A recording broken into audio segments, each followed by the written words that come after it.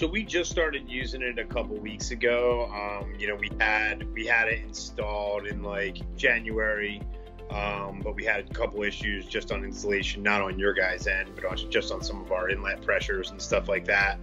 Um, so we just started using it about like about a week and a, about a week and a half ago. We can finally commission the system, and you know, to be fair, uh, it was a little bit.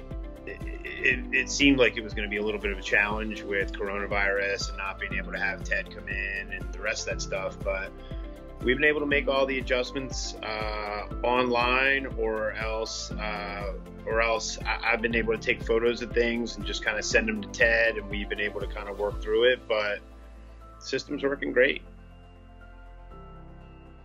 You know we had a pretty rudimentary training when ted was in town and did it originally and then you know to be fair we had 60 days where we didn't really use the system because we were waiting for parts or waiting for this or waiting for that you know, and for us to jump back in and to get it going was relatively seamless, you know, uh, both myself and my partner. And, and, you know, when I called Ted, you know, he was very receptive. We're on East Coast time and I'm getting into work at, uh, seven in the morning and firing out emails. And you know ted was pretty receptive at what i know was 5.30 6 a.m colorado time. So um, you know i really appreciate it for sure. So basically, right now, because of the whole coronavirus thing, uh, we've split our teams into two different. We've split our grow team into two separate teams, and because of that, I'm not able to be there for a week. So basically, what ends up happening is we're working seven days on, seven days off. So when we're not in, the other team is working. Uh, so basically, you know, we set them up so that I know everything that needs to be mixed, and basically those guys uh, tell me when the tank is empty, and I basically mix the juice up for the back.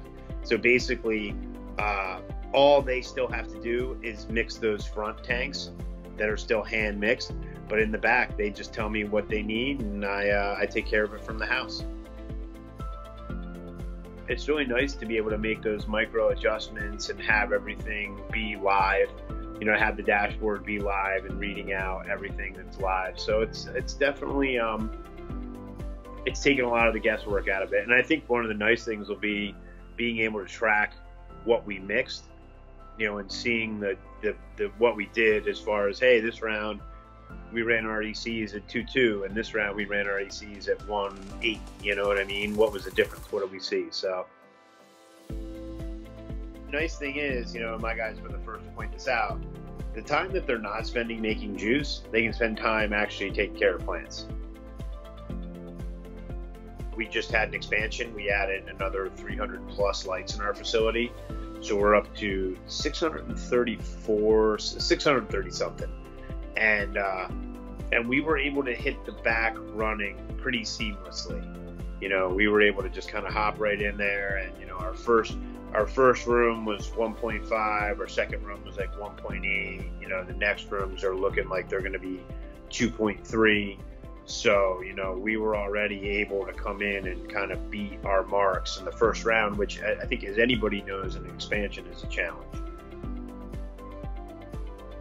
I, I tell my guys all the time you know plants don't care about your personal problems. Like they need to be watered. They don't care about christmas or new year's or any of those things.